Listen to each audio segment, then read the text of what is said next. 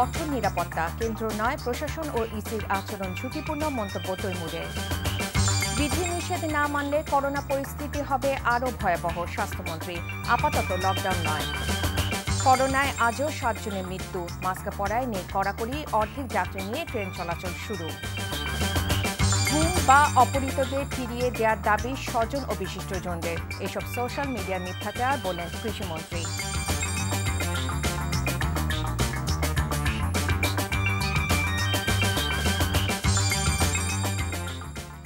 আসসালামু আলাইকুম রায়কা আল হোসাইন স্বাগত জানাচ্ছি এনটিভি সন্ধ্যার খবরে একে এস ডিমটি বার নাম দেখছিলেন এবার চলুন পুরো খবরে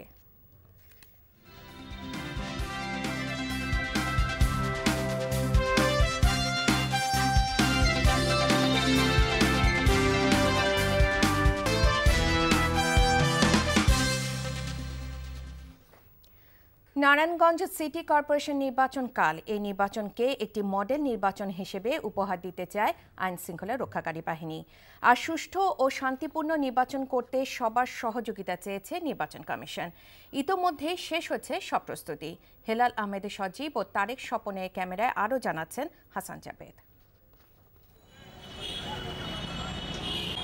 কয়েক ঘন্টা পরই নারায়ণগঞ্জ সিটি কর্পোরেশন নির্বাচন রোববার সকাল আটটা থেকে শুরু হবে ভোটগ্রহণ শুক্রবার রাতেই শেষ হয়েছে প্রার্থীদের প্রচার প্রচারণা এরই মধ্যে কেন্দ্রে কেন্দ্রে পাঠানো হয়েছে নির্বাচনী সামগ্রী একশো বিরানব্বইটি কেন্দ্রে আইন শৃঙ্খলা পরিস্থিতি নিয়ন্ত্রণে পুলিশের চৌষট্টিটি মোবাইল টিম চোদ্দ প্লাটুন বিজিবির পাশাপাশি আনসার ও র্যাব সদস্যরা দায়িত্ব পালন করবেন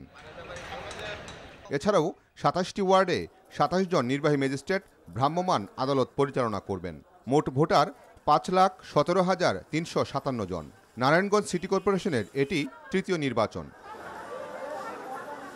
নির্বাচনে মেয়র পদে আওয়ামী লীগের ডাক্তার সেলিনা হায়াত আইভি এবং স্বতন্ত্র অ্যাডভোকেট তৈমুর আলম খন্দকার ছাড়াও আরও পাঁচজন প্রার্থী প্রতিদ্বন্দ্বিতা করছেন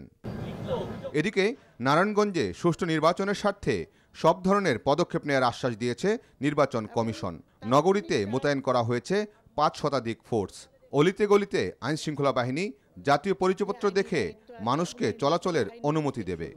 কোনো বহিরাগতদের নির্বাচনী এলাকায় প্রবেশ করতে দেয়া হবে না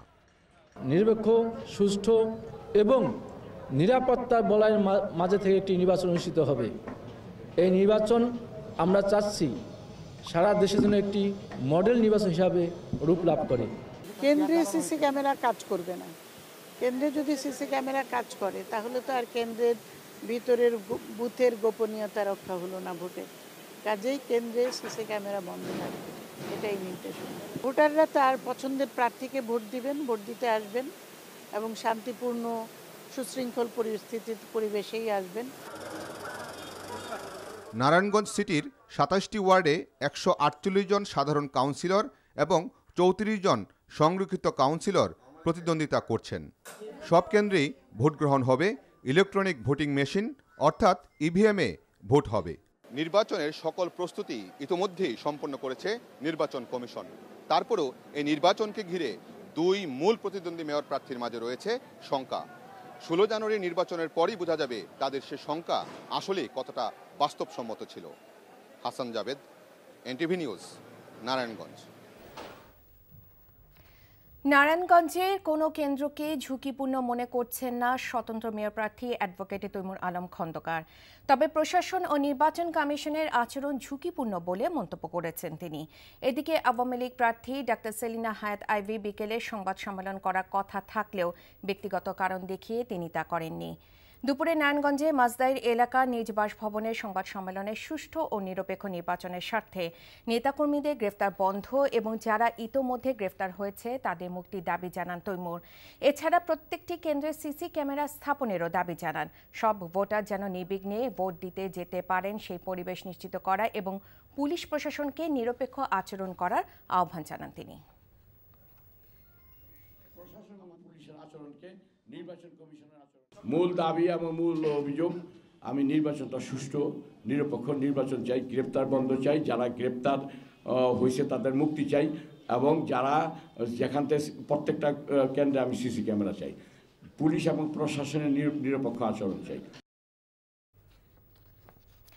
নারায়ণগঞ্জে আছেন আমাদের সহকর্মী হাসানুল শাওন সরাসরি যোগ দিচ্ছেন তিনি শাওন আমরা জানি রাত পোহালেই তো ভোট তো শহরে পরিস্থিতি এখন কেমন দেখছেন আর প্রশাসনের প্রস্তুতিটা বা কতটুকু রাইকা আপনি যেমনটি বলছিলেন আসলে রাত পোহালেই ভোট সেই হিসেবে আজকের সন্ধ্যাটা কিন্তু নারায়ণগঞ্জে একটু অন্যরকম ছিল বেশ কিছুদিন যাবৎ নির্বাচনী প্রচার প্রচারণা এই সময়টা নারায়ণগঞ্জ শহর আসলে মুখরিত ছিল সেক্ষেত্রে আপনি জানেন যে গতকাল রাত বারোটার পর থেকে প্রচার প্রচারণা বন্ধ আছে তো মোটামুটি এখন শহরের পরিস্থিতি যদি আমরা বলি এই সিটি কর্পোরেশন এলাকায় ব্যাপক একটি ব্যস্ততা এবং একটা উৎসব মুখর পরিবেশ বিরাজ করছে কারণ আজ রাত বারোটার পর থেকে আসলে চলাচলে কিছু বিধিনিষেধ আছে সেক্ষেত্রে একদমই জরুরি প্রয়োজন ছাড়া যানবাহন চলাচলে নিষেধাজ্ঞা আরোপ করেছে আসলে আইন শৃঙ্খলা রক্ষাকারী বাহিনী এবং এটি আজ রাত বারোটা থেকে আগামীকাল রাত বারোটা পর্যন্ত এটি থাকবে তো সেই হিসাবে এখনও মানুষজন আছেন আর আমরা দেখছি যে আমরা জানি যে মোট একশো বিরানব্বইটি কেন্দ্রে আসলে আগামীকাল ভোট গ্রহণ হবে তো সেই কেন্দ্রগুলোতে আমরা প্রতিবেদনও যেমনটি দেখছিলাম যে দিনের বেলায় নির্বাচনী যে সরঞ্জাম সেগুলো পৌঁছে গেছে এবং প্রতিটি কেন্দ্রেই আসলে এখন আমরা দেখেছি যে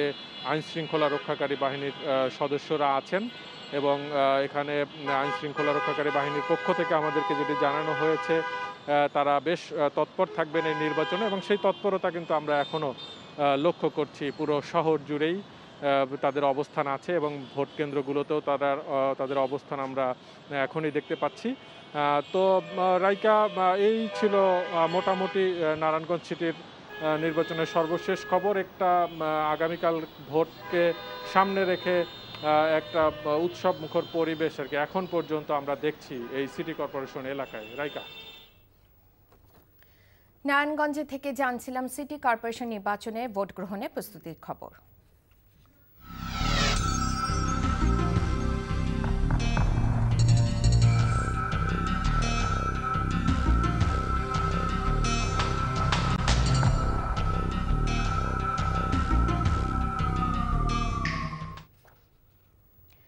করোনা সংক্রমণ আশঙ্কাজনকভাবে বাড়ছে জানিয়ে স্বাস্থ্যমন্ত্রী জাহিদ মালিক বলেছেন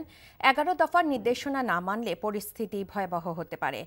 আক্রান্ত বাড়লে হাসপাতালে রোগী বাড়বে আর বেশি রোগী আসলে হাসপাতালে সবার জায়গা হবে না তবে বর্তমান পরিস্থিতিতে লকডাউন দিতে চায় না সরকার দুপুরে মানিকগঞ্জ সদর হাসপাতালে এক অনুষ্ঠানে মন্ত্রী এসব কথা বলেন মানিকগঞ্জ থেকে আহমেদ সাব্বির সোহেলের পাঠানো রিপোর্ট গত মঙ্গলবার করোনা শনাক্ত হয়েছিল দুই জন শনাক্তের হার ছিল আট দশমিক নয় শতাংশ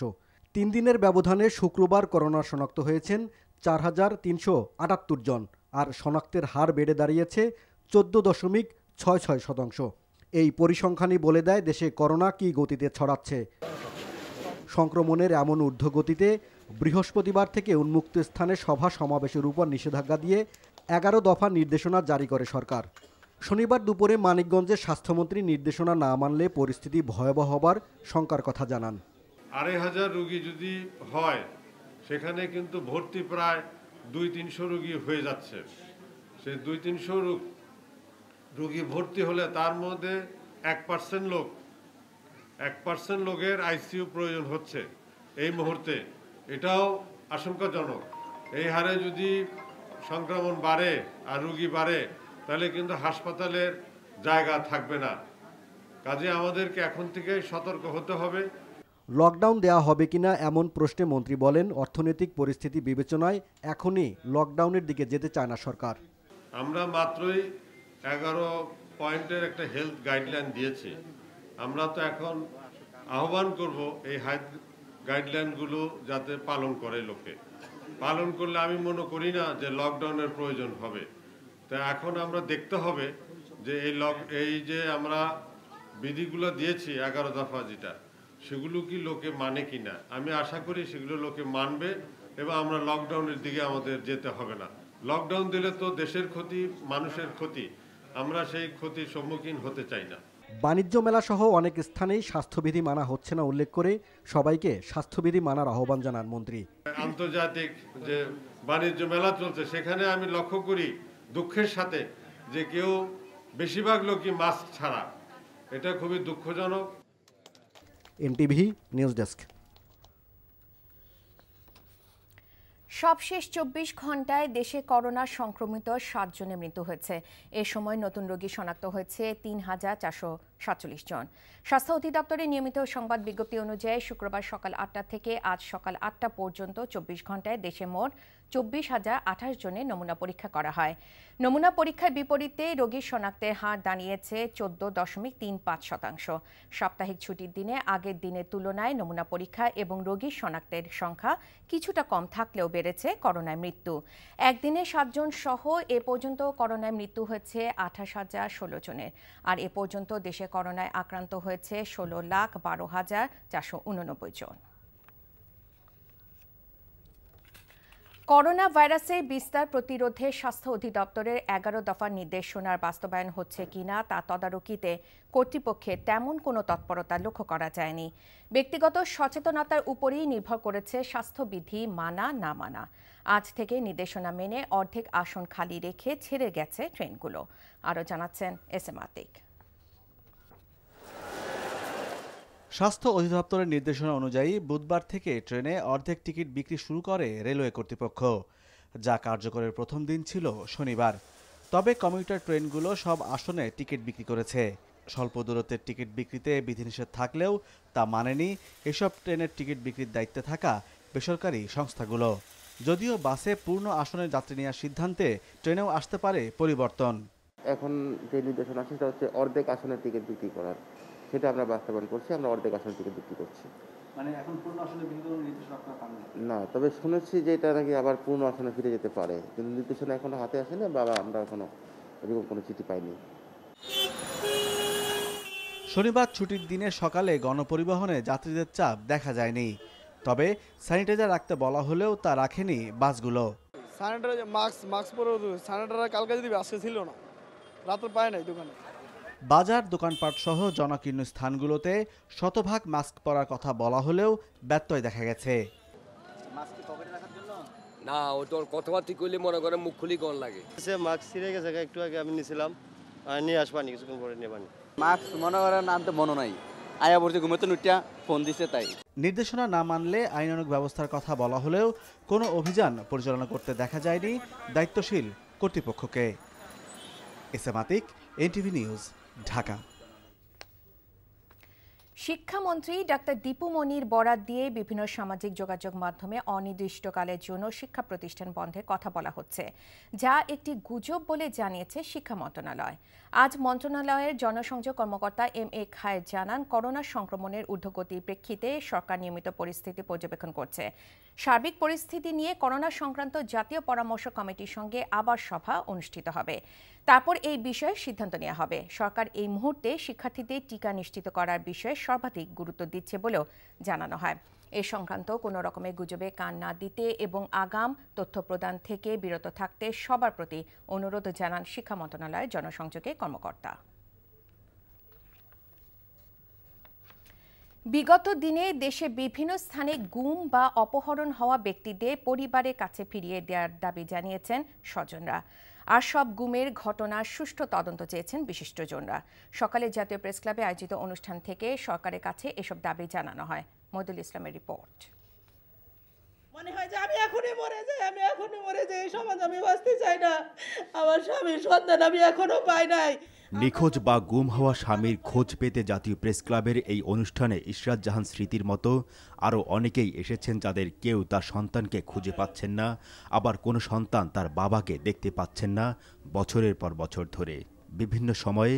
গুম বা অপহরণ হওয়া ব্যক্তিদের খোঁজ পেতে তাদের স্বজনদের এমন আহাজারি ছিল পুরো অনুষ্ঠান জুড়ে বছরের পর বছর দিনের পর দিন মাসের পর মাস কষ্ট ব্যথা বেদনায় আমরা যন্ত্রণা ভোগ করতেছি আমরা কাকে বলবো কার কাছে যাবো কেন এই কষ্ট আমাদের চলতে কি অপরাধ জানুয়ারি পনেরো তারিখ হয়ে গেছে আমার মেয়েকে আমি স্কুলে দিতে পারি নাই এখনো ভর্তি করতে পারে কোনো বাবা যদি তার সামনে থাকতো তাহলে আমার মেয়েকে এখন আমি ভর্তি না করে থাকতে পারতাম আমরা আমাদের স্বজনদের ফেরত চাই আমরা একটা নিরপেক্ষ স্বাধীন বিচার বিভাগীয় তদন্ত চাই অনুষ্ঠানে বক্তব্য রাখেন মানবাধিকার কর্মী সাংবাদিক ও রাজনৈতিক নেতাসহ সমাজের বিভিন্ন শ্রেণী পেশার মানুষ যারা তুলে ধরেন মানবাধিকারের কথা আইনের শাসনের কথা যেই মানুষগুলো কয়েক বছর ধরে অবিরাম কাঁদছেন প্রেস ক্লাবের ভেতরে বাইরে বাংলাদেশের আনাচে কানাচে যারা আজকে এখানে কাঁদতে কাঁদতে প্রতিবাদ করলেন এবং বললেন আমরা এটা চালু রাখবো ওদের কাছ থেকে আপনারা বাপ পাবেন না আমরা যদি সম্মিলিতভাবে রুখে না দাঁড়াই আজকে এমন দিন আসবে ভবিষ্যতে যে কেউ গুম হতে পারে এটা আমরা বহুবার বলেছি এবং রাষ্ট্র হিসাবে আমরা কোথায় চলে যাব এটা কেউ কল্পনাও করতে পারবে না আর আমি উচ্চ আদালতের কাছে আহ্বান জানাই আমি না পড়াই মানবাধিকার আমার কাছে হাস্যকর লাগে আমাদের সবচেয়ে বড় অধিকার হচ্ছে জীবনের অধিকার স্বাধীনতার অধিকার গুমের সাথে সাথে এই দুইটা অধিকার ক্ষুণ্ণ হয়ে যায় প্রত্যেককে সন্ধান দিতে হবে তাদের কি পরিণতি হয়েছে সে বিষয়ে পরিষ্কারভাবে প্রত্যেক পরিবারকে জানাতে হবে অনুষ্ঠানে উপস্থিত গুম হওয়াদের স্বজন এবং বিশিষ্ট ব্যক্তিরা আইনশৃঙ্খলা বাহিনীকে আরও মানবিক হওয়ার আহ্বান জানিয়েছেন মইদুল ইসলাম এনটিভি নিউজ ঢাকা এদিকে কৃষিমন্ত্রী ডক্টর আব্দুর রাজ্জাক বলেছেন বাংলাদেশের বিরুদ্ধে গুম খুনে যে বিবৃতি আসছে সেটা সম্পূর্ণ মিথ্যাচার এবং ষড়যন্ত্রের অংশ তিনি বলেন সামাজিক যোগাযোগ মাধ্যমে এ নিয়ে মিথ্যাচার করা হচ্ছে একই অনুষ্ঠানে স্বরাষ্ট্রমন্ত্রী আসাদুজ্জামান খান কামাল বলেন স্বাধীনতার পর দেশ গঠনে বঙ্গবন্ধু কৃষিক্ষেত্রে সবচেয়ে বেশি গুরুত্ব দিয়েছেন বলেই অর্থনীতিতে দেশ আজ এত সমৃদ্ধ রিপোর্ট করছেন শেখ মহিউদ্দিন কৃষিবিদ শওকত মোমেন শাহজাহান আব্দুল মান্নান ও বদিউজ্জামান বাদশাহ শনিবার এক অনুষ্ঠানে প্রয়াত এই তিন কৃষিবিদকে স্মরণ করে বাংলাদেশ কৃষি বিশ্ববিদ্যালয় অ্যালামনে অ্যাসোসিয়েশন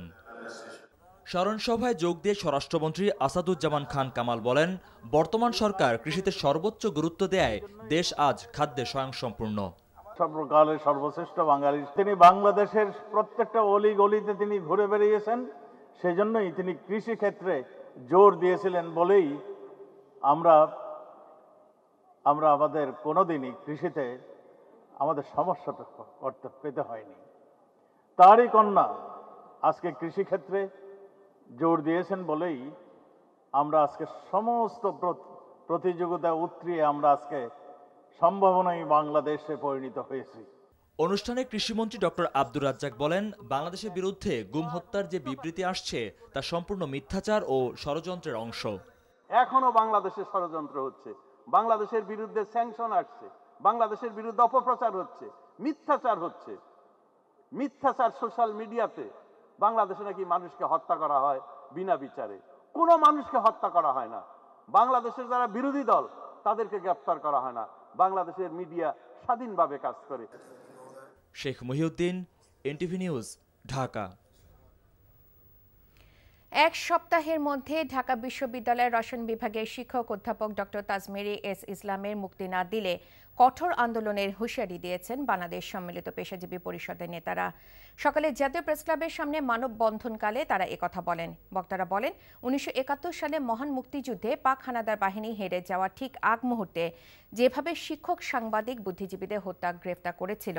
এখনও ঠিক সেই প্রক্রিয়া চলছে পেশাজীবীদের উপর হামলা মামলা গ্রেফতার করে ক্ষমতাসীনদের শেষ রক্ষা হবে না বলেও মন্তব্য করেন তারা একটা স্বাধীন সরকারের সাথে সাথে দাবি করে বলতে চাই তাজবুল ইসলাম সহ সকল পেশাজীবী নেতাদের মুক্তির দাবিতে আমরা আগামী সপ্তাহে আমরা কর্মসূচি পালন করব আমরা এক সপ্তাহের মধ্যে আমরা দেখতে চাই তাজবুল ইসলামকে মুক্তি দেওয়া হয়েছে কিনা যদি মুক্তি না দেওয়া হয় তাহলে আমাদের রাজপথে আন্দোলন আমাদের শুরু হয়ে যাবে এবং এই আন্দোলন আসলে স্বৈরাচার বিরোধী আন্দোলন সরকার পতনের আন্দোলনে রূপান্তরিত হবে বন্ধু দেশের বিভিন্ন স্থানে সড়ক দুর্ঘটনায় প্রাণ গেল আট জনের ফেনীতে সড়ক দুর্ঘটনায় দুই ভাইয়ের মৃত্যু হয়েছে পুলিশ জানায় ঢাকা চট্টগ্রাম মহাসড়কে ফেনী দেবীপুর বিসিক এলাকায় প্রাইভেট কার নিয়ন্ত্রণ হারিয়ে গাছের সাথে সজোরে ধাক্কা লাগে এতে প্রাইভেট কারে থাকা দুই ভাই তুষার ও বিপ্লব নিহত হন এ সময় চালক সহ আহত হয় আরও দুইজন গুরুতর আহত দুইজনকে চট্টগ্রাম মেডিকেল কলেজ হাসপাতালে পাঠানো হয়েছে কুষ্টিয়া সদর উপজেলার সড়ক দুর্ঘটনায় দুজন নিহত হয়েছে বেলা বারোটার দিকে কুষ্টিয়া ঝিনাইদহ মহাসড়কের বিত্তিপাড়া বাজারে এই দুর্ঘটনা ঘটে আহত দুজনকে হাসপাতালে ভর্তি করা করা হয়েছে এদিকে ময়মনসিংহে গফরগাঁওয়ে লরি চাপায় দুই নারী খাগড়াছড়ি ও গাইবান্ধায় আরও দুইজন সড়ক দুর্ঘটনায় নিহত হয়েছে বাংলাদেশ সহ বিদেশ থেকে কর্মী নিয়োগে অনলাইনে আবেদনের তারিখ ঘোষণা করেছে মালয়েশিয়া দেশটি বৃক্ষরোপণ খাতে কাজ করতে ইচ্ছুক কর্মীরা আগামী আঠাশ জানুয়ারি থেকে অনলাইনে আবেদন করতে পারবেন পাশাপাশি বিদেশ থেকে কর্মী নিয়োগে আগামী পনেরো ফেব্রুয়ারি থেকে নিয়োগকর্তারা ওয়েবসাইটে আবেদন করতে পারবেন আজ এক বিবৃতিতে এ ঘোষণা দেন দেশটির মানব সম্পদ মন্ত্রী এম সারাপানান এদিকে প্রবাসী কল্যাণ ও বৈদেশিক কর্মসংস্থান মন্ত্রী ইমরান আহমেদের আমন্ত্রণে আগামী পঁচিশ জানুয়ারি তিন দিনের সফরে ঢাকায় আসছেন মালয়েশিয়ার স্বরাষ্ট্রমন্ত্রী হামজা বিন জাইনুদ্দিন বাংলাদেশ থেকে শ্রমিক নেওয়ার বিষয়ে প্রবাসী কল্যাণ ও স্বরাষ্ট্রমন্ত্রীর সঙ্গে বৈঠক করবেন তিনি হঠাৎ দেশের উত্তর ও দক্ষিণাঞ্চলে বেড়েছে শীতের প্রকোপ ঘন কুয়াশার সাথে ঝরছে বৃষ্টি এতে বিপর্যস্ত জনজীবন মংলা বন্দর সহ সংলগ্ন উপকূলীয় এলাকা জুড়ে তিন চার দিন ধরে আকাশ মেঘাচ্ছন্ন ঘন কুয়াশা ও হালকা বাতাসের পাশাপাশি গুড়িগুড়ি বৃষ্টি হচ্ছে এতে বেড়েছে শীতের দাপট ভোগান্তি বেড়েছে খেটে খাওয়া মানুষদের শীতে ঠান্ডাজনিত রোগে আক্রান্ত হচ্ছেন শিশু ও বয়স্করা এদিকে ঘন কুয়াশায় সড়ক ও নদীপথে যান চলাচল বিঘ্নিত হচ্ছে ঝালকাঠুতে তীব্র শীতে জনজীবন বিপর্যস্ত দুই দিন ধরে ঘন কুয়াশায় আচ্ছন্ন উপকূলীয় এ জেলা দেখা নেই সূর্যের পাশাপাশি গুড়িগুড়ি বৃষ্টি হচ্ছে বিপাকে মজুর ও খেটে খাওয়া মানুষেরা বাড়ছে ঠান্ডাজনিত রোগীর সংখ্যা এদিকে দিনাজপুরে হাড় কাঁপানো শীতে জবুথবু জনজীবন কুয়াশার কারণে দিনের বেলায়ও দেখা নেই সূর্যের এছাড়াও পঞ্চগড় সিরাজগঞ্জ নাটোর নওগাঁ সহ বিভিন্ন জেলায় বেড়েছে শীতের তীব্রতা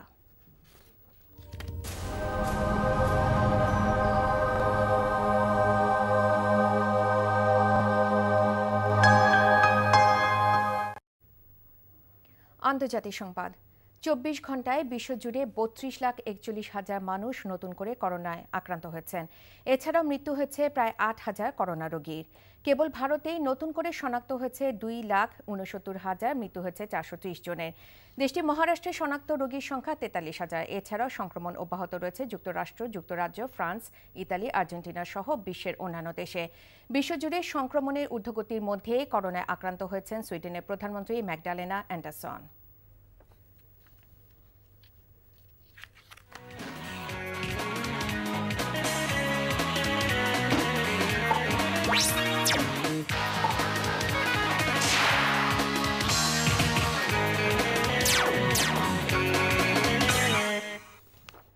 খেলার খবর ক্রিকেট বিপিএল প্রসঙ্গ পাঁচ বছর মেয়াদের জন্য দায়িত্ব পেলে বাংলাদেশে ক্রিকেটের উন্নতির জন্য কাজ করা সম্ভব বলে মনে করছে আসন্ন বিপিএল এর ফ্র্যাঞ্চাইজি ফরচুন বরিশাল দলটির লক্ষ্য এবার শিরোপা জেতা আর এমন প্রত্যয় ব্যক্ত করেছেন অধিনায়ক সাকিব আল হাসান নিজে রিপোর্ট নাসিমুল হাসানে বরিশালের প্রতিনিধিত্ব বিভিন্ন সময় নাম বদলে বিপিএলের সাথে যুক্ত থাকলেও